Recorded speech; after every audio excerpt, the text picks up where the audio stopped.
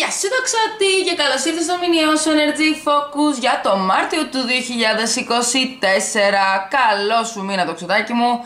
Σήμερα θα ρίξουμε με την 78 Stories Tarot Πάμε να δούμε ποιες είναι οι ενεργειούλες που έχουν βγει. Και από ό,τι φαίνεται τα πράγματα θα πάνε πάρα πολύ ωραία. Ανέλπιστα θα σου έλεγα καλά σε ορισμένα επίπεδα. Βλέπω ότι ούτως ή άλλως μπαίνεις στο Μάρτιο έχοντας ορισμένα πράγματα σε μία σιρούλα Βλέπω ότι για τα περισσότερα πράγματα που σε αφορούν νιώθεις πως έχεις το πάνω χέρι, νιώθεις ότι υπάρχει μία κάποια ηρεμία, μία αρμονία ή μάλλον για να το θέσω ακόμα καλύτερα μία οργάνωση. Εντάξει, ξέρεις τι σου γίνεται, ξέρεις ποιοι είναι οι στόχοι σου, οι σκοποί σου, ξέρεις επακριβώς τι κάνεις, τα έχεις βάλει όλα, νιώθεις σε μία ωραία σιρούλα. Μέσα λοιπόν στο πρώτο χρονικό διάστημα που φαίνεται όλα να λειτουργούν ρολόι, Φαίνεται επίσης να εμφανίζεται ένα άτομο. Για πολλούς ε, το άτομο αυτό είναι φίλος ή φίλη που μάλλον έχει καιρό να δεις. Για κάποιους άλλους μπορεί να είναι και μια επανασύνδεση σε συναισθηματικό ερωτικό επίπεδο ε, μετά από καιρό με έναν άνθρωπο αν και για τους περισσότερους ξαναλέω θεωρώ ότι είναι ένα άτομο ε, από τα παλιά, κάποιος φίλος, κάποια φίλη και πάει λέγοντας. Για κάποιους άλλους μπορεί να μου δείχνει ένα πιο φρέσκο άτομο στη ζωή σου, με το οποίο ίσως μέσα στο Μάρτιο να αρχίσεις να κάνεις λίγο πιο στενή επαφή. Βλέπω λοιπόν ότι υπάρχει αυτό το πολύ χαρούμενο τέτα τέτ, ε, υπάρχει πολύ, αυτή η πολύ χαρούμενη συνάντηση. Ε, και εκεί πέρα που όλοι λειτουργούν λοιπόν ρολόι στη ζωή σου, αρχίζεις να θες προφανώς και από ό,τι καταλαβαίνω να τα λες πιο συχνά με το συγκεκριμένο άτομο, εμφανίζεται πάλι στη ζωή σου, ε, ε, θέλεις λοιπόν να τα λέτε και online, θέλεις να τα λέτε και από κοντά, θέλεις ε, βεβαίως να φροντίσεις τα του οίκου σου για τον, τα των επαγγελματικών σου, αλλά παράλληλα θες να φροντίσεις και την εξωτερική σου εμφάνιση, θέλεις να φροντίσεις και τον τίσιμό σου, δηλαδή βλέπω ότι σιγά σιγά η εστίαση μετακινείται από κάποια πράγματα και πηγαίνει σε κάποια άλλα πράγματα. Βλέπω ότι στην πραγματικότητα μέσα στο Μάρτιο μάλλον θα βγεις αρκετές φορές, θα βρεθείς σε διάφορες παρέες, μπορεί να πάρεις κάποια πρόσκληση, κάποιο πάρτι, να πας σε κάποια γιορτή, ε, αλλά γενικότερα νομίζω ότι θα σε απορροφήσει ε, το κοινωνικό σου γίγνεσθε και με αυτόν τον τρόπο από ό,τι φαίνεται μάλλον θα σου αποσπάσει και λίγο την προσοχή από όλα αυτά που πιο πριν είχες πάρα πολύ ωραία στρωμένα. Φαίνεται λοιπόν εδώ πέρα ότι κάπως δεν θα σου φτάνει ο χρόνος, κάπως θα βλέπεις τις υποχρεώσεις σου, ε, και θα ψιλοεκνευρίζεσαι, θα θες να λειτουργήσεις λίγο πιο αυθόρμητα, λίγο πιο παρορμητικά, δεν θα θες τόσο πολύ ας πούμε να, να είσαι του καθήκοντος, δεν θα θες τόσο πολύ να κάνεις αυτά που έκανες απαραίτητος, θα θέλεις να κάνεις που και που και του κεφαλιού σου, θα, τους, θα, σου, θα σου τις πάει όταν δεν θα μπορείς να το κάνεις, απ' την άλλη βλέπω ότι κάποιες φορές θα το κάνεις ε, ανεξάρτητα από το αν έχεις κάτι να παραδώσεις την επόμενη, αν έχεις να διαβάσεις, αν έχεις να δουλέψεις, αν έχεις να ξεκουραστείς. Θεωρώ, ξαναλέω, ότι δεν θα είναι μόνο μία ή δύο έξοδοι. Θεωρώ ότι μάλλον είναι μια σειρά εξόδων, ε, σειρά συνευρέσεων με αυτό το άτομα και τα υπόλοιπα άτομα που θα συναντηθείς, γιατί δεν θα συναντιέσαι αποκλειστικά και μόνο με το συγκεκριμένο άτομο. Μπορεί για παράδειγμα να κάνετε και ένα ωραίο reunion παλιών συμμαθητών, βρεθήκατε εσείς οι δύο και είπατε να το κανονίσετε, ένα παράδειγμα σου λέω.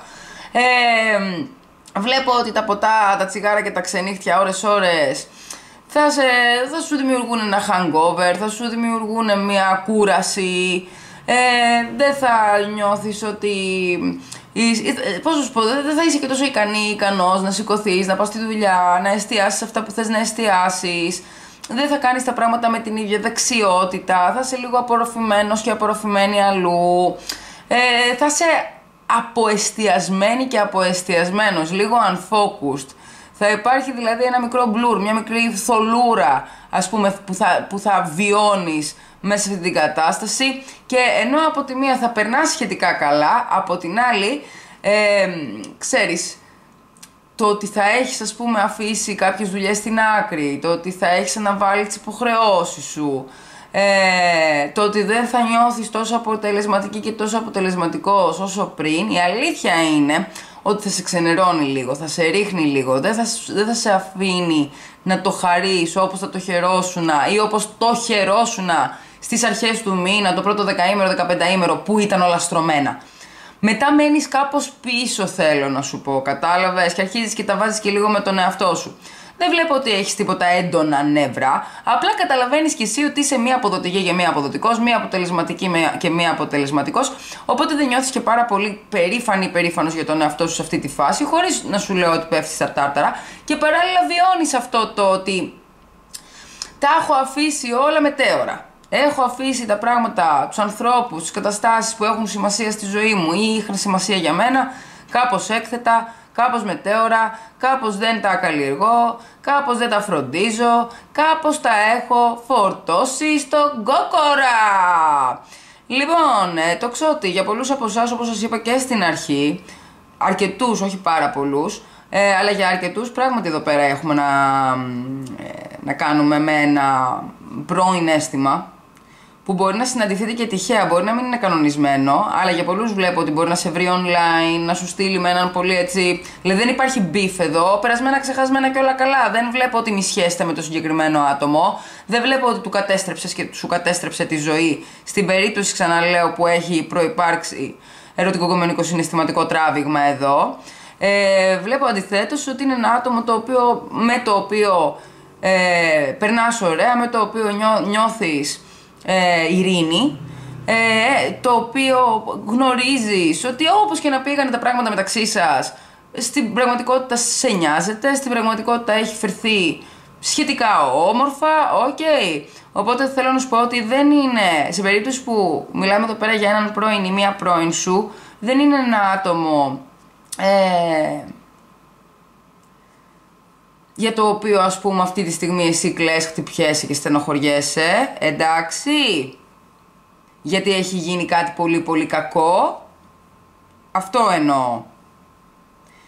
Ε, αντιθέτως δηλαδή, πολύ φιλική ατμόσφαιρα, πολύ φιλική διάθεση, ακόμα και αν αναζωπηρωθεί τέλος πάντων το αίσθημα και σε πιο ερωτικό επίπεδο, σε κάθε περίπτωση εγώ βλέπω περισσότερο σαν να είστε δύο καλοί φίλοι που εμφανίζονται ένας στη ζωή του άλλου.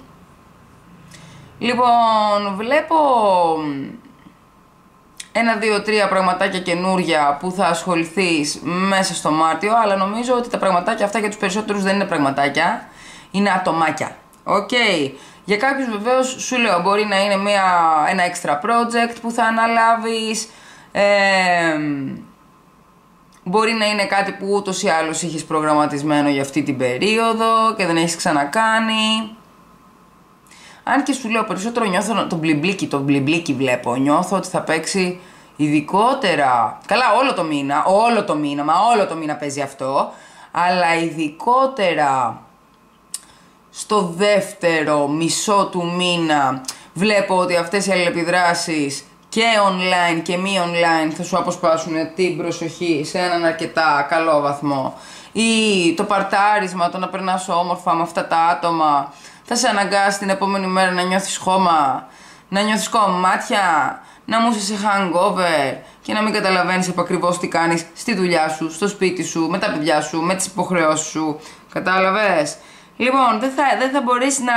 δεν θα δείχνεις την ίδια αφοσίωση επί της ουσίας της υποχρεώσης σου, θα έχεις προβλήματα στη διαχείριση του χρόνου σου, όχι κάτι φοβερό και τρομερό. Δεν βλέπω ότι θα γίνει ε, και καταστροφή ας πούμε εδώ. Βλέπω μάλιστα σου είπα ότι το, το βλέπεις κι εσύ, δηλαδή είναι σχεδόν συνειδητοποιημένος ο τρόπος που συμβαίνει, απλά δίνεις θα σου έλεγα λίγο χρόνο στον εαυτό σου έτσι να περάσει ενδεχομένως λίγο καλά, έτσι να γουστάρει, να παρτάρει, να φάει λιγάκι, να πιει λιγάκι, να το ρίξει λιγάκι έξω.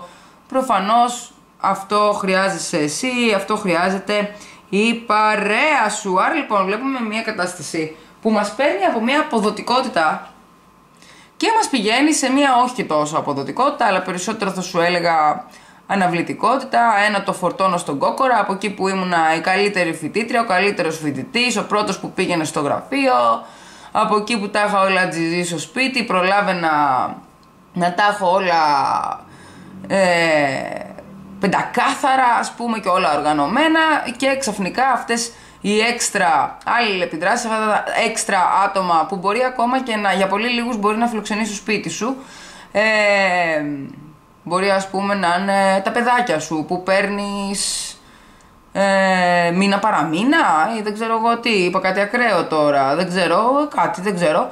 Anyway, ε, όλα αυτά τα πραγματάκια σου αποσπούν λοιπόν την προσοχή και βρίσκεσαι σε μια κατάσταση την οποία, η οποία δεν είναι ότι χειρότερο για σένα, αλλά δεν μπορείς να την απολαύσεις και παράλληλα, κατάλαβες; Ε, ε, είναι κάτι όμορφο, αλλά δεν μπορείς να το απολαύσεις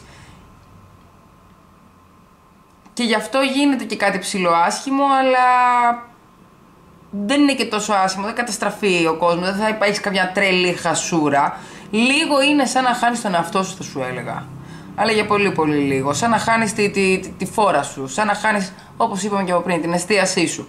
Λοιπόν, αυτά είχα να σου πω καλό μου το ξετάκι. Εγώ εύχομαι να περάσεις πάρα πολύ ωραία μέσα στο επόμενο χρονικό διάστημα. Άλλωστε το βλέπω αυτό, ότι θα περάσεις όμορφα. Γι' αυτό και θα παρασυρθείς. Εμείς θα τα πούμε πάρα πολύ σύντομα. Μην ξεχάσεις να κάνεις like αν σου άρεσε αυτό το βίντεο. Επίσης κάνε subscribe, comment και share. To show me you care. Δες ζώδιο, οροσκόπο αλλά και σελήνη για να έχεις μια πιο συνολική εικόνα του τι μέλη γενέστε. Και φιλάκια πάρα πολλά. Bye!